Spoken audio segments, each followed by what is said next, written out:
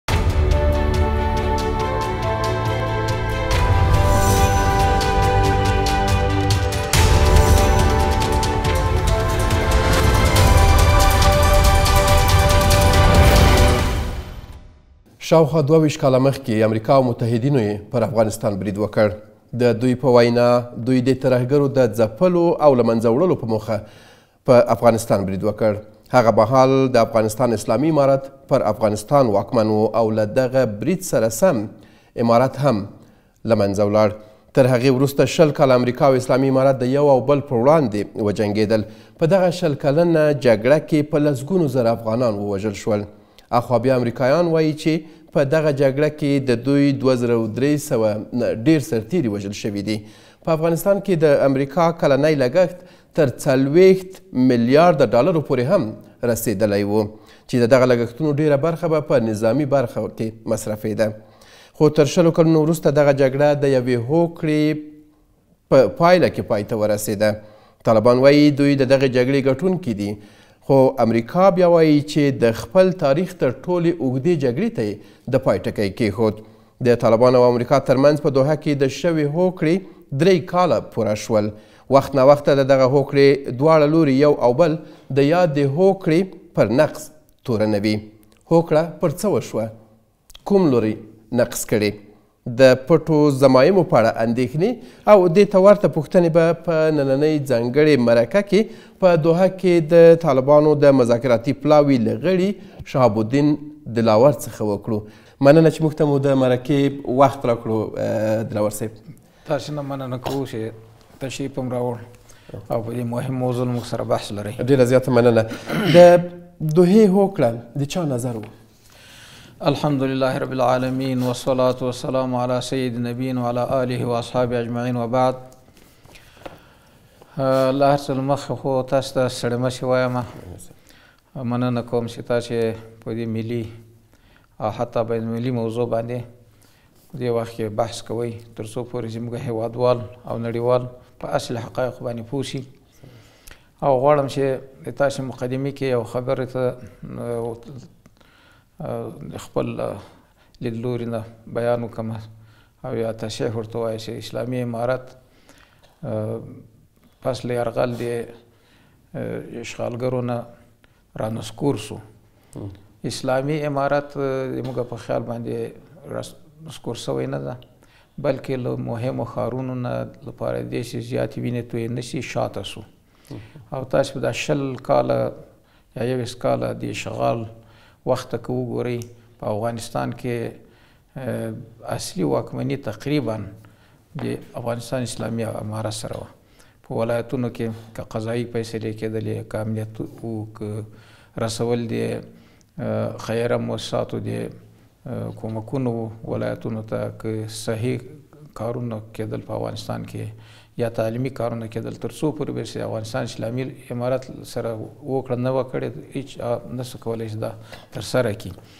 البته پایتخت او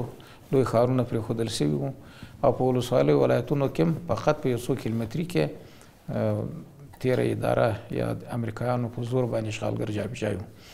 او د دوم سوال په ارتباط باندې به دا وایم چې دا د چا ابتکار یا د چا هغه اوسې د هوکړې ته سره ورسېدو اسلامي امارات کله چې اشغال ګر راغله افغانستان ته په لومړیو کې دا فیصله وکړه چې د موږ به د سیاسي ډیالوګ لپاره او د خبرو لپاره دروازه خلاصي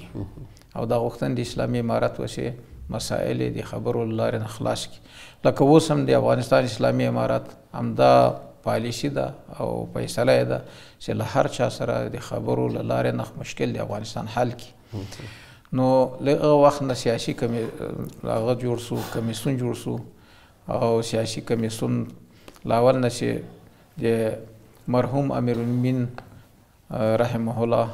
مجاهد ملا محمد عمر صاحب له طرف نه جوړ سو مولوی صاحب عبدالکبیر صاحب مشر و زه مولوی صاحب سید الرحمن حقانی صاحب ملا جلیل اخوند او د قندار پخوانی والی چې اوس وفات سوی د رحمت الله علیه ملا محمد حسن اخوند دا څلور غړي یې درلودل. له هغه وخت نه فیصله وسوله چې هڅه وکړي د افغانستان اسلامي امارات تر څو پورې چې اشغالګر په دې قانع کړي افغانستان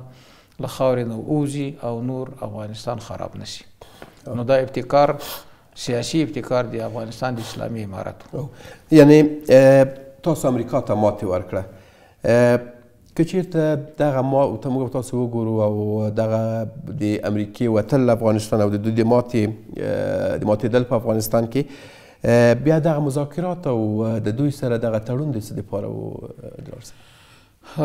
زه بیا غواړم چې دا خبره لږ وضاحت ورکړم چې موږ افغان موږ امریکا ته ماتې نه ده ورکړې امریکا ته ماتې د الله جل وعلا په نصرت ورکړل شوې ده او امریکا ته ماتې افغان ملت ورکړي البته رهبري یې د افغانستان د اسلامي امارت په لاس کې وه په دې شل کلن جهاد کې یو کلن جهاد کې په مقابل د اشغالګرو کې ټول افغانان الا ماشاء الله چې د دوی هغه خاص خلک دین غیر په کلو کې، په بانډو کې، په ولسوالیو کې، په ولایتونو کې، که نر وو، که ښځه وو، که ځوان وو، که سپین ږیری وو، که عالم وو، که عامي وو، که محصل وو، که ډاکټر وو، دا ټول په مقابل دې کې وو. ټول مخالف وو او دا اول تاریخ دی افغانستان نه وو چې دې اشغالګرو په مقابل کې په یو لاس جهاد وکړ،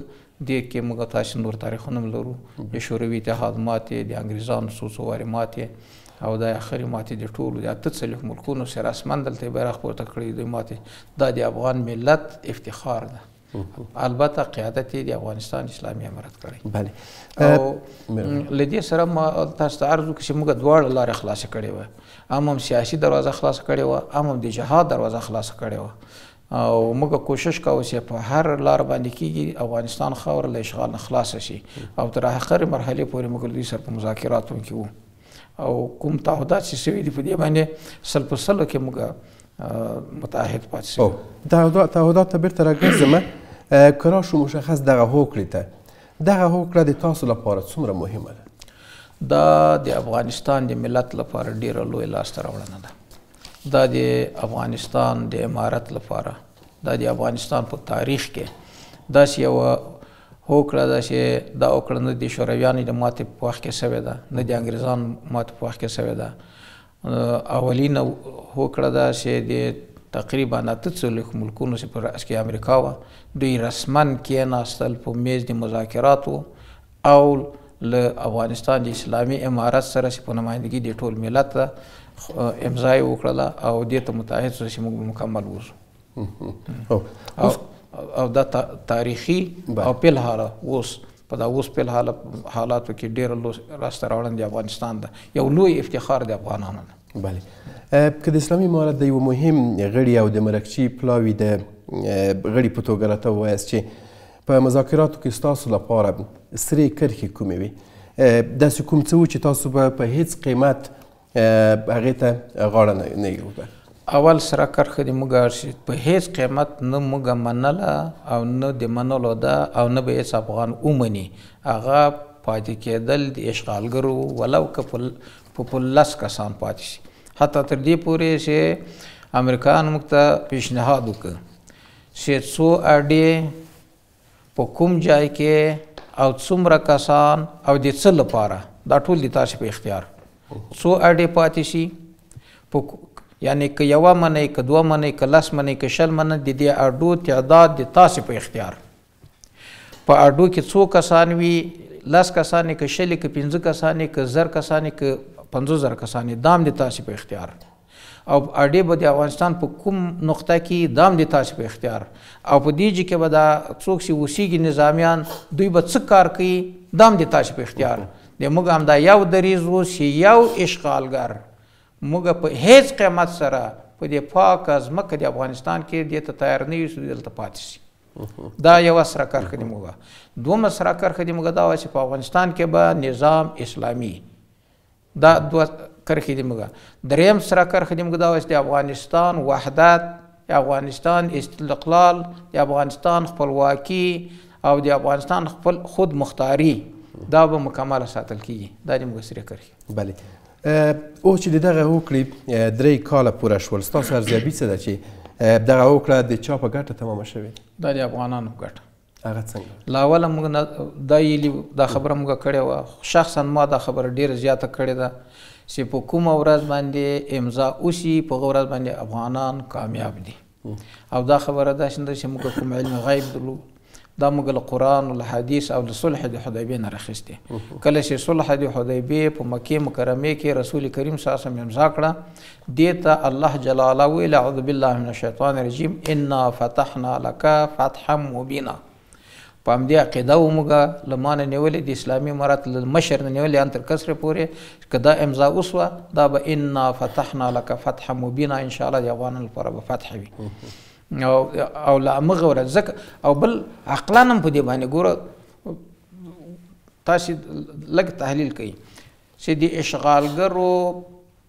رأس تاسو سره امضا وکړي چې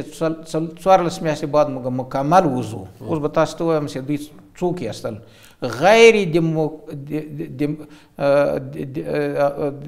د سفارت کارکانه دیپلوماټیک کارمندانو نه غیر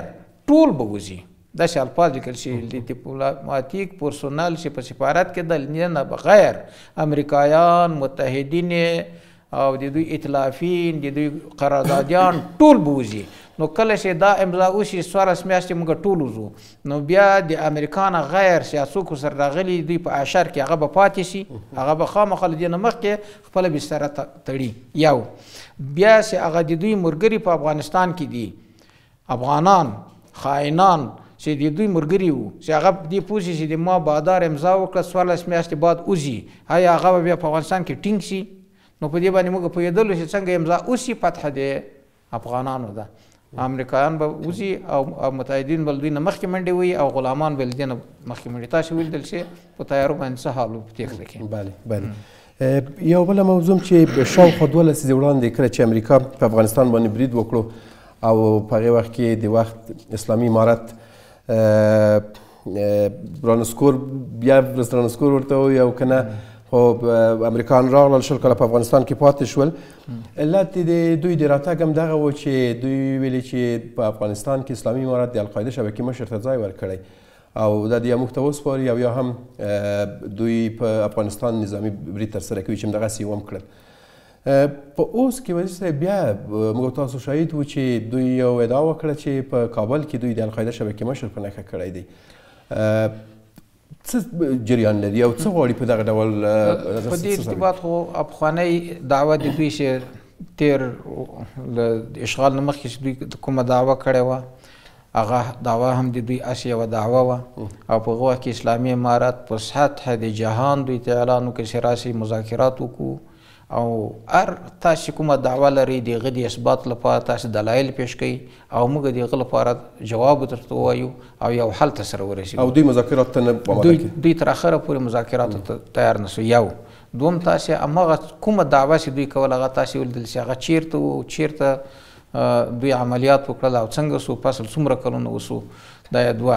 دریم دا اوس ادعا سي کوي تر اوسه پورې خو زه په دې شي باندې علم نه لرم چې دوی دا دعوت څومره حقیقت لري که نه لري زه خو یې مکمل ردوم او د دې لپاره دوی کوم هغه نه لري اثبات نه لري بلکې یو تیری یې کړی ښکاره تیری یې وکړي چې په افغانستان په پایتخت باندې دوی چې وایي چې موږ د ډرون حمله وکړله دا هم بې له دې نه کوم چې کوم خبر موږ ته راکړي او یا کوم تشویش کې دولت باید موږ سره خبره کړې وای چې موږ دا خبره سره سپینه کړې وای دوی سره موږ دا یې لوي چې موږ تاسو به په هر خبره کې او تفاهم سره کوو او یعنی په دې کې تفاهم نه وشو نه نه ته یې بس یو یو ډز یې وکړ او یو دعوا یې وکړه چې د اثبات لپاره یې هېڅ دلیل نه لري بله یو د دې ترڅنګ تاسو په جریان کې یاست صاحب چې د دوحې د تړون د مادو نه یوه ماده دغه وه چې د افغانستان خاوره به د نورو پر ضد نه کارول کیږي اسلامي امارت هم همیشه کله چې خبرپاڼې خپروي یا خپل لیدلوری شریکوي دوی وایي چې هیڅکله د افغانستان خاوره د چا په وړاندې نه کاروي اما نړیوال اطمینان نه لري دوی ډاډ نه لري او دوی اندېښنه لري د دغه څخه همیشه وایي چې د افغانستان کې د اوس هم حتی اشاره کوي چې ترهګرې ډلې فعلا شتون لري د موږ مخکې هم دا خبره کړې اوس هم دا خبره کوو او دا د دوی سره موږ توافقنامه کې مې لیکلې ده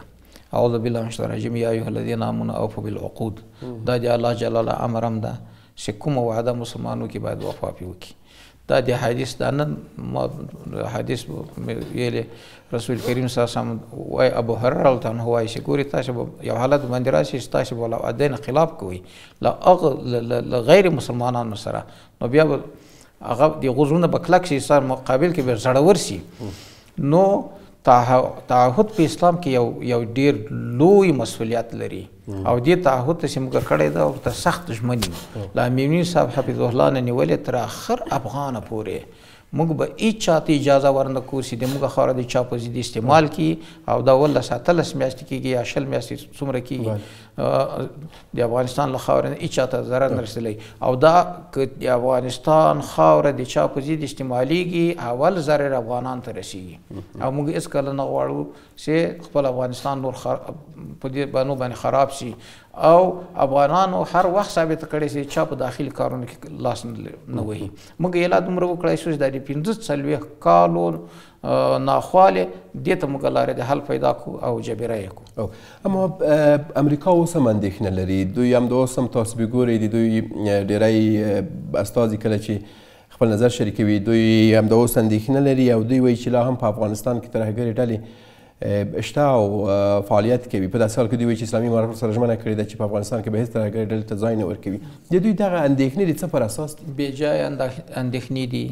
دا یوه بهانه ده دې لپاره چې دوی د افغانستان د ټول ملت نه تنها د مشرانو د امارت اسلامي افغانستان د ټول ملت که کونډې دي که یتیمان دي که زنانه دي که نارینه دي که ځوانان دي که سپینګیري دي د دوی حقوق غصب کړي دي چه د افغانستان په حکومت باندې دوی اعتراف نه کوي دا نه اعتراف د دوی د افغانستان په حکومت د دې ضرر هر پرت پر د افغان افغان ته رسیږي هغه لري لري کلو کې چې پراته دي هغو ته تکلیف دوی جوړ کړی ده نو دې لپاره چې دوی یو بانه ونه لټوي نو د افغانستان ټول حقوق دوی چې له پښو لاندې کړي دي څه ووایي یو دوم تاسې خپله یې نه چې د ترهګرو په مقابل کې مازې سر پورته کی عملیات روان دي هغه داعش چې ټوله دنیا په مقابل کې عاجزه وه او یا خو همدغه همدوی خپله جوړ کړي وو له دې نه خالي نه دي په عراق کې وو که په یمن په هغه کې وو په سوریه کې وو نور ځای کې وو یا خو دوی خپله جوړ کړي امریکا امریکا جوړ کړي او یا د دوی د مقابل نه دوی عاجز وو خو افغانستان کې الحمدلله تاسو نه سر نه سي پورته کوي ابل اعظم په خیرخانه کې عملیات وسو د دوی په ټولګان کې دوی ووزل سول ونیول سول نو نه تنها دا چې افغانستان ترګرو ته جای نه ورکوي بلکې په مقابل دغه کې سخت شدید عملیات کوي د داعشانو مقابل کې او دا څنګه په دوی باندې ومنو وزیر صاحب اوس دوی اندېښنې ښیي همیشه او دغه مشکل ته څه ډول د حل لار پیدا کولی شي چې دوی هم قناعت ترلاسه کړي چې په افغانستان کې ترهګر نشته خوی بد را بهانه بسیار است دا نو دوی پورې تعلق لري چې دوی څنګه قانع شي موږ موږ ورته وایي عملا هم ورته ثابته کړې ده چې د اسلامي امارت راغلی ده افغانستان کې سرتاسري امنیت راغلی افغانستان کې سرتاسري صلح راغلی افغانستان وحدت اعاده سوی دی افغانستان استقلال افغانستان کې حاکمیت ملي قائم سوی مهمه خبره حاکمیت ملي ده افغانستان چې تبا کړی وو ملک توافی تباه کړی وو په مزار کې جدا حکومت وو په کابل کې په یو ارګ په سپیدار ماڼۍ کې جدا جدا حکومتونه وو دا ټول په یو نظام په یو امیر په یو قیادت باندې بدل سو نو چې دوی نه قانع کیږي دا نو خو ما تاسو ته ویل چې دوی د افغانانو حقوق لپخو لاندې کړي دي غول پر باندې لټي او په ځل کې د ما یقین ده چې دوی قانع دي دواړه لوري یو بل د دغه هوکړې پر نقص تورنوي تاسو هم په دغه هوکړه کې د دخیل وی څه فکر کوئ چې دغه هوکړه چا نقص کړي او څه ډول نقص کړي ما تاسو ته عرض وکړ دا هوکړه د دې دوحې د ما په لاس کې پښتو باندې مې لیکل شوی فارسي باندې مې لیکل شوی په انګریزي باندې لیکل شوی دا تاسو ته هم درکم ده اول نقض امریکا چې وکړ هغه دا و، دلته لیکل شوي دي، لومړۍ برخه، متحده ایالتونه ژمنه کوي چې د متحده ایالتونو متحدینو او د ایتلافي شریکانو ټول نظامي ځواکونه، د ټول غیر دیپلوماتیک ملکي پرسونل، شخصي امنیتي قراردادیانو، روزونکو، مشاورینو او د حمایوي خدماتو پرسونل به په ګډون به د دې توافقنامې له اعلان سره سم په څوارلسو میاشتو کې له افغانستان څخه وباسي او په دې اړه به لاندې اقدامات کوي. دا د دوی تعهد ده. دوی بیا په څوارلس میاشتو کې ووتل؟ دوی په اتلس میاشتو کې ووتل. علت یې څه هغه هم په داسې حالت کې ووتل خو مخالفت یې کولای دی. د اول مخالفت دا وو چې دوی دغه ځل لیکلی ده چې په څوارلس میاشت کې به وځو او دوی په اتلس میاشت کې داسې ووتل چې ولایتونه یو له بل نه وروسته سقوط کېدل ولسوالۍ یو له بل نه وروسته سقوط کېدلې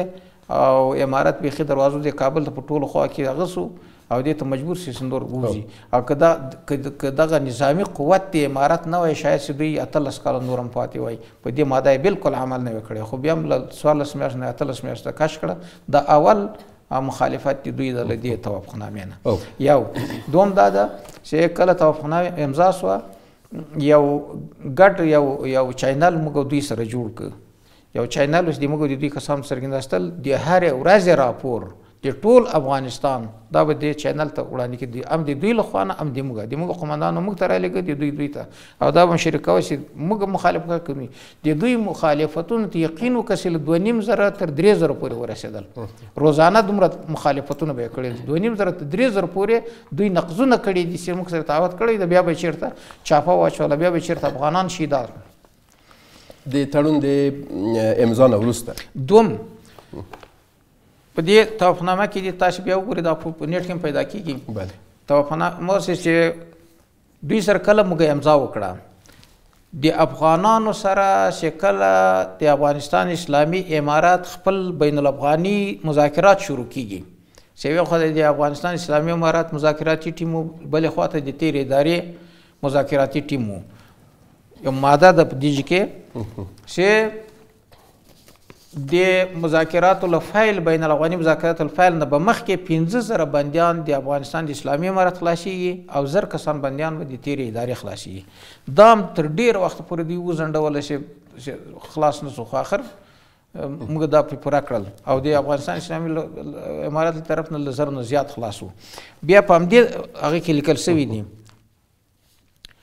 او داسې ګوري لیکلي دي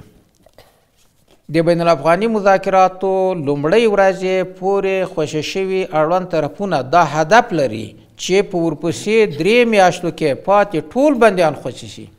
په درې میاشتو کې ټول بندیان وروسته خوشې شي دا موږ تر اخر ورته ویلی چې ګورو اوس هغه د شروع سو درې میاشتې د مذاکراتو هم تېرې شي ډېر وخت تېر سو باید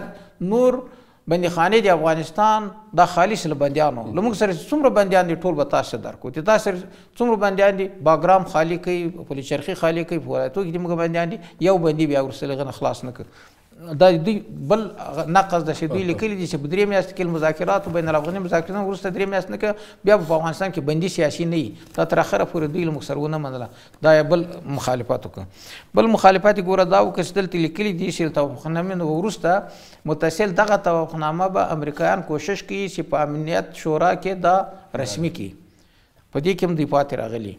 او بل اگر که یو حمایه یو اعلان کړه چې موږ دې هغه کوو او بل دا یې چې دې سره به متصل موږ کوشش کوو چې د افغانستان د اسلامي امارت د مشرانو د جایزې لیست او ټول لیستونه به موږ ختمو تر نن پورې ته ګوره له یوې خوا نه موږ سره مذاکرات وکړ له بلې خوا نه موږ سره امضا وکړه له بلې خوا نه په تور لیست کې راوستلی یو که موږ یاره تروریستان یو او موږ یو واره قابل دي نه یو چې موږ خپل وطن کې ژوند وکړو نو تل مذاکرات څنګه موږ سره کوي تل موږ سره بیا امضا څنګه کوي نو دا ټول هغه مخالفتونه دي چې دي کړي دي بلې صراحتا دا لیکلي دي دلته لیکلي دي چې او په کورنۍ چارو کې به یې لاسوهنه نه کوي د افغانستان دوی تاسو اوس ګورئ چې موږ تاسو په ځا د افغانستان کې د دوی درون ګرځي او دوی په افغانستان کې یو ځای بل ځای په یو باندې بل باندې باندې حمله کوي او تعهد کړی و تعهد کړی چې موږ بل هیڅ ځواک باندې استعمالو نه به په سیاسي کارو کې موږ هغه کو لاسونه کو او نه نظامی کارو کې دوی دا تعهدات نقض کړي دي موږ چې کوم تعهد سره کړی هغه دا ده چې د افغانستان خاوره به د چا په ضد نه استعمالیږي دا به هېڅکله موږ اجازه ورنکړو یو موضوع ته چې اشاره کیږي وزیر صاحب هغه دوی وایي چې اسلامي امارت کله چې د دوی تړون لاسلیک شو په هغې یو ماده دغه وه چې دوی باید په هماغو سیمو کې چې دوی شته هماغلته به پاتې کیږي تر هغې پورې به دوی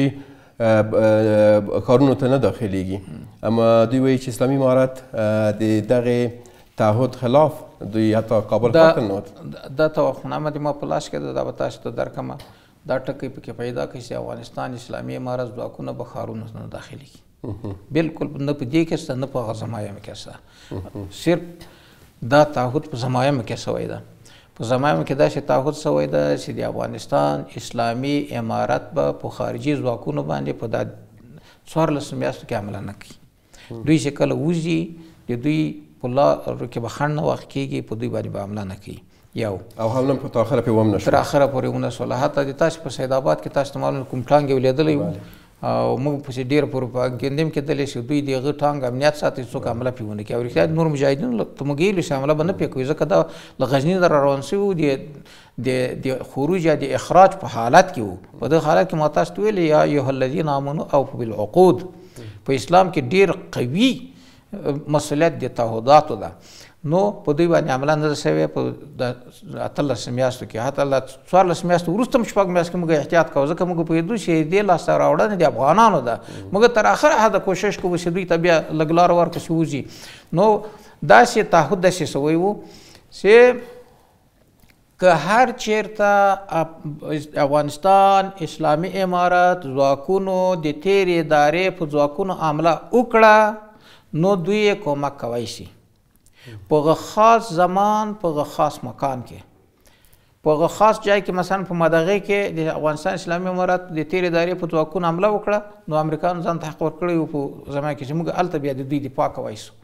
خو په هغه خاص وخت کې چې ما احمد اغا ده په هغه خاص وخت کې چې لس بجې دي که جنګ ختم شو دوی به بیا حق نه لري او دوی له دې نه بالکل مخالفت کوي دوی به خپله په عملیاتو کې تر اتلس میاشت تاسې لیدل چې ډېر ځای کې عملیات کوي درې زره پورې یو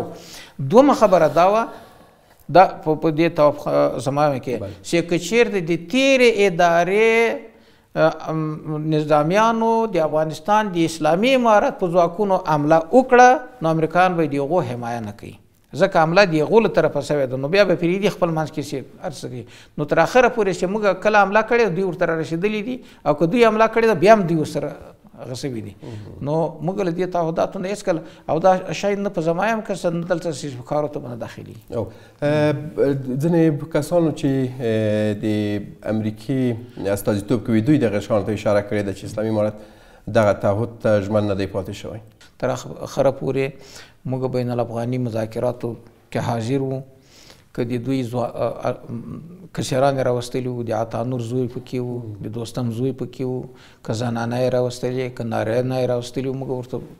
اوس لګیا وو اجنډا مو سره جوړه کړې وه څلدریس مادې وې په یوه یوه ماده هم بحث کاوه یو ورځ موږ غیر سوي نه یو نو دوی سره هم په ډېر په یو ښه فضا کې په مذاکراتو لګیا وو موږ اګر که موږ پوهېدو چې دغه ټیم نه افغاني ده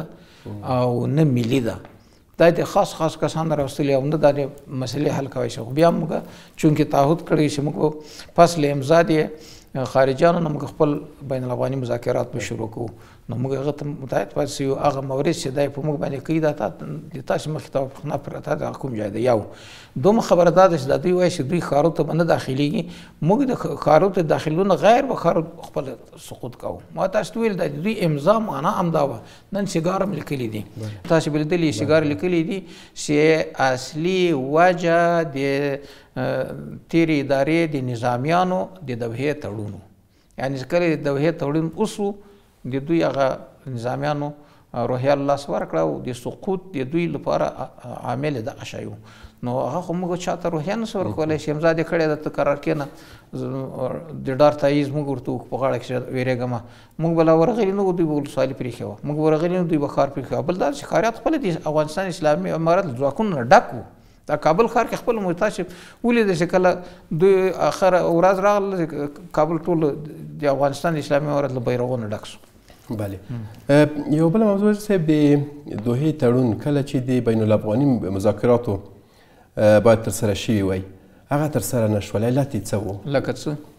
د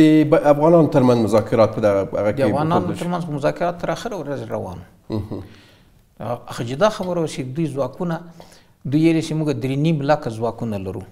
او دوی پنځوس زره شپېته زره نه د ټول خیالي وو لکه د دوی مکتبونه چې خیالي وو د دوی شفاخانې خیالي وې د دوی ځواکونه خیالي وو په شپېته زره اویا زره کې هم اکثره پوډریان وو اکثره عملیانو او اکثره نه غوښتل چې خپل ځانونه د امریکایانو لپاره ووژني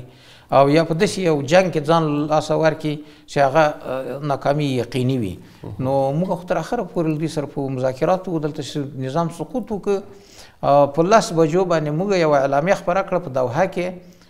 خلیزاد دی ټول ناستو چې د موږ د افغانستان د اسلامي ځواکونو داخل نه شي کابل ته حتی له کمپنۍ نه بیرته شاته سول ځکه دا اسلامي امارت یو نظام ده یو موقف ده یو وحدت ده یو اواز ده دا واسي اوس اسلامي امارت ځواکونه بیرته ووتل مازیګر کې چې کېده د کابل میشتو که سیاسي کسانو که غیر سیاسي کسانو یو موږ ته ټلیفون وکړ چې خپل ځواکونو ته اجازه ورکړي چې کابل ته د امنیت لپاره داخل شي وروسته یې غږ کړم، د شپې د شپې دې موږ ځواکونه کابل ته داخل شول، د امنیت دې وطن لپاره. موږ خو نشو کولی چې خارجیان هم وتښتېږي، داخلیان د دوی غلامان هم وتښتېږي، ملګري هم وتښتېږي او موږ افغانان دغسې پرېږدو چې خپل منځ کې بیا په جنګونو، چور چپاول شروع شي. بله. په یوه ویډیويي کلیپ کې داسې ښکاري چې تاسو د هوکړې په یوه څنډه کې د نجونو د تعلیم او تحصیل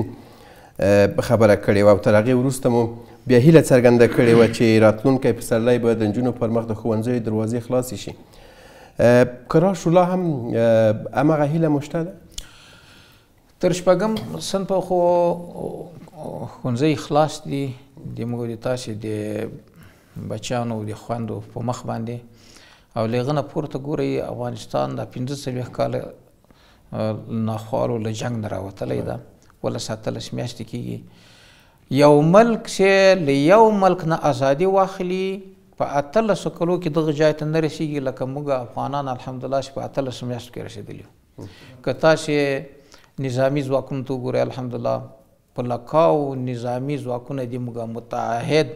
ځوانان په دې خاوره باندې مین او په اسلام باندې مین ځوانان تاسو نه شي الحمدلله د وزارت دفاع په چوکاټ کې د وزارت داخله په چوکاټ کې د استخباراتو په چوکاټ کې سرتاسري د امنیتي ارګانونه الحمدالله جوړ شوي دي، قوي شوي دي او شپه ورځ د افغانستان د خلکو د امنیت په هغه کې د سرحداتو په ساتنه کې لګیا دي. دا په په لس کلو کې هم نه جوړېدل. موږ تاسې په اتلس میاشتو کې لاسته راوړل. اقتصادي پرمختګونه تاسې وګورئ چې یو روپۍ له دې باندې چې افغانانو ته نه ده ورکړې، د تیر کال بودیجه الحمدالله تصویب سوله، ټول کارونه په مخ باندې روان دي، نظام په په لکونو لکونو مامورین دي، وزارتونه دي، ولایتونه دي، ولسوالۍ دي، مکتبونه دي، پوهنتونونه دي، شفاخانې دي، ټولو ته معاشات، حتی دلته اکثره وخت معاش راسي میاشت لا نه وي پوره سوې چې ماته ووایي دا دستخط کوي چې معاشونه راغلي دي. او د تیرې دره به تاسو لیدلی چې په میاشتو میاشتو به پاتې وو معاشونه د قوشتېپې کانال تاسو وګورئ دوه سوه اتیا میلیونه ډالر مصرف لري هغه د اوس الحمدلله یو پیس خو یې خلاصوی ده نور پسې روان ده درې میلیونه جربه ده که درې میلیونه هکتاره ځمکه به دې لاندې راځي دا الحمدلله هغه د روان ده په سرکونو باندې کار روان ده په شخړو کار روان ده دا پرمختګونه سوي دي اوس دغه ستونزه چې ده په دې دا هرې ستونزې وخت غواړي او زه خو چې څومره خبر یم تعلیمي ادارې او تعلیمي وزارتونه لکه تحصیلات عالی او تعلیم تربیه شاید په دې باندې به کار کوي په نصاب باندې به کار کوي نور به کوي خو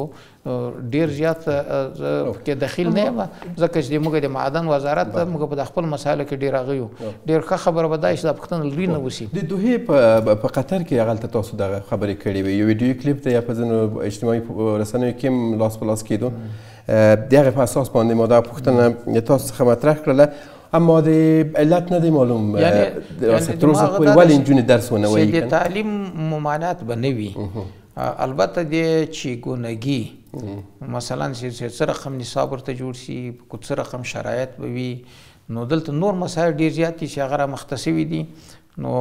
کېدای شي چې هر کار په هغه خپل وخت باندې به ترسره کېږي او په ښه به ترسره کېږي نور دا خو د تعلیمي ادارو پورې تعلق لري چې دغسې وشي یعنې پسرلي کې به راتلونکي پسرلي کې به انتظار به کوو د امیر شاه عمر خو امر ثاني ده حفظه الله نو امر ثاني به انتظار کوو هغه زموږ تاسو امیر دغه سره موږ بیعت کړی ده ډېره لویه لوی لوی افتخارات موږ تاسو ته راوړي موږ تاسو ته ازادي الحمدلله د په قیادت کې راغلي دي موږ نور امیران امیر المؤمنین صاحب مولا محمد مجاهد رحمه الله یې ډیر زیات کوششونه کړي خدای پاک دې قبر ته روزه دي جنت کې منصور صاحب رحمت الله علیه یې ډیر کباب سو دي د ملک لپاره بیا دا میرمن صاحب حفظه الله دا د دوی دغه د دومره چې ځانونه قربان کړي دي یا د میرمن صاحب شپه ورځ لګیا ده باید موږ د دوی هغه ته دا چې وګورو چې په دې ملک باندې موږ نه ډېر مهربانه ده چې د تشمین ته موږ انتظار یو اوس یو تر څو اما پورې دغه مشکل باید د خلکو سره شریک شي علت باندې خلک باید پوه شي مشکل په څه کې دی که په نصاب کې مشکل وي همغه نصاب نن هلکانو مکتبونو کې همغه نصاب تدریسیږي او تغییر نه دی پکې راغلی کمیسیون یې وي چې کمیسیون یې ټاکلی دی کمیسیون کار چیرته ورسېدو څه یې وکړل تر اوسه که پورې؟ خبره دا ده چې دا پوښتنه وشي او. خو البته دا شی چې هر اقدام د امارت له طرفه کېږي هغه باید د ملت په ګټه وي بله بله او اه، که راشو د دې ټولنې د عام وګړي په توګه راته ووایاست چې د اسلامي امارت د دغه یو نیم کلن مزل څخه تاسو څومره راضي یاست زه خو دومره راضي یم چې دا توقعات ما نه درلودل په دا یو نیم کال کې چې څومره پرمختګونه وسول یقیني دي دا توقعات ما نه درلودل که په اجتماعي لحاظ یې واخلو که په سیاسي لحاظ یې واخلو که په اقتصادي لحاظ یې واخلو که په امنیتي لحاظ یې واخلو که د افغانانو سره په همکارۍ یې واخلو پرمختګونه ډیر زیات سوي دي تاسو صادرات د افغانستان په اقتصادي لحاظ وګورئ چې کومه درجه ته رسیدلي دي تاسو په یو د زغالو په معادنو کې په لسهاو زره خلک لګیا دي کارونه کوي الحمدلله د دریا عمود حوزې د تېلو قرارداد وسو ان شاءالله په یو سلو پنځوس یا سلو شپېته میلیونه به سږ کال دلته سرمایه ګذاري کیږي نور قراردادونه دي د غوریانو د اوسپنې قرارداد ان شاءالله د یو آینده هفته کې ان شاءالله امضا شي زه توقع لرم یا بل هفته کې د تولک د ولسوالي څلور اته سوه کیلومتر مربع صرف دی هغه به امضا شي ډیر زیات کارونه به ځوانانو ته پیدا شي او دا امنیت چې کوم راغلی دا افغاني مصالحت چې راغلی دا نن واته وکیل صاحبان دی موږ تاسو د اهل تشیع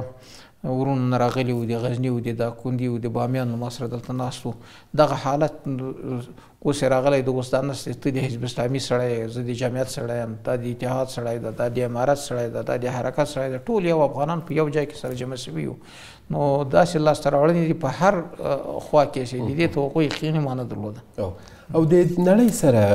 آخر باید څه ډول موږ تاسو د نړۍ سره په ژبه پوه شو شاوخوا نولس میاشتې کېږي چې اسلامي امارت واک ترلاسه کړی اما تر اوسه پورې هیڅ هېواد په رسمیت نه پېژني تعامل دواړه خواوې وایي چې موږ غواړو تعامل وکړو اما دغه تعامل ولې په رسمیت پېژندلو نه اوړي موږ همدا وایي چې باید په رسمیت بدل بدل شي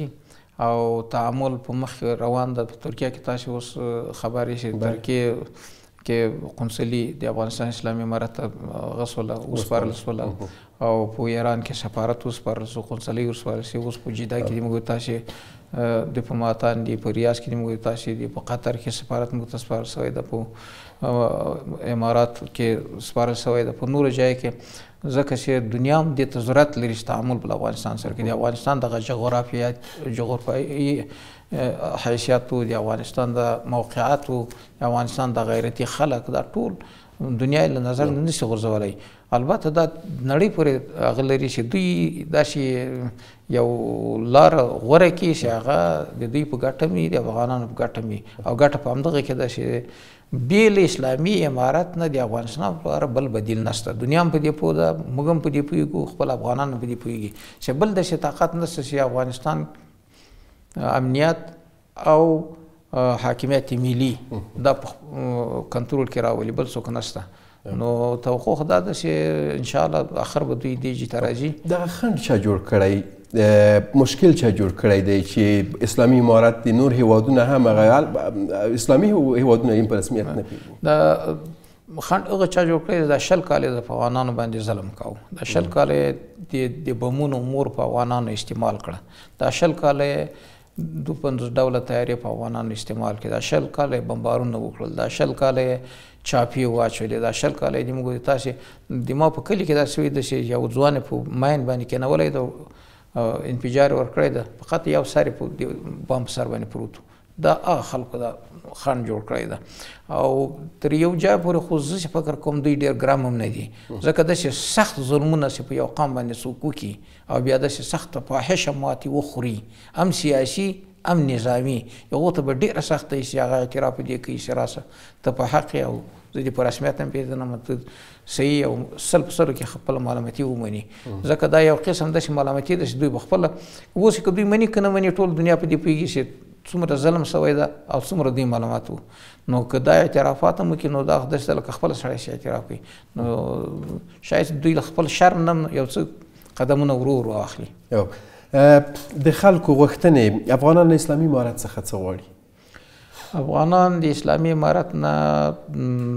اکثریت مطلق تر 90 فیصد یا 90 فیصد اسلامي نظام غواړي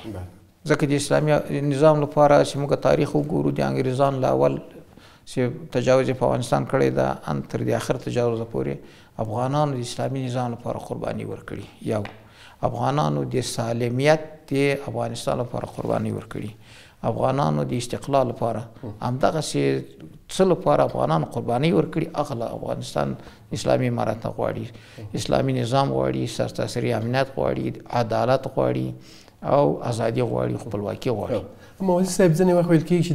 د ملت دغه قربانۍ نادیده نیول کېږي یعنی دوی قربانۍ ورکړي د سر او مال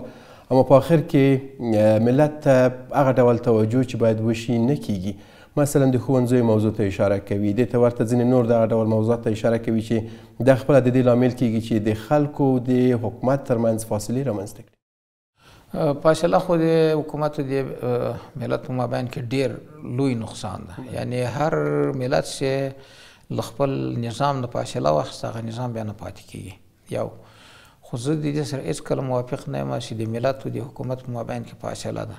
دغه حکومت له همدې ملت نه راپورته ده دغه حکومت شل کاله یویشت کاله د دې ملت سره په خپلو کورو کې ساتلی دي تاسې خپل لیدل چې چې کوم عملیات پیچیده په کابل کې کېدل دا د ملت په همکاري شوي دي او تاسې دا اوس سربراهان د دې حکومت ګورئ چې د دوی که پټکای ده که واسکټ ده که څادر ده که رفت آمد ده دا ټول د دې ملت سره هغه ده ورته ده یعنی تاسو به دا فرق نه کوي چې دا اوس د یو جماعت د ملت امام د یو کلی امام ده که دا د کوم وزارت وزیر ده نو زه هم چې د ملت او د امارت د مشرانو په مابین کې دغسې تړاو ده که دغه تړاو نه وای نه به دا امنیت اوس او نه به دا ارامي وه ډیره زیاته مننه کوم صاحب کور مو ودان سلامت اوسئ خدای مو خوشحال لره ډیره مننه صاحب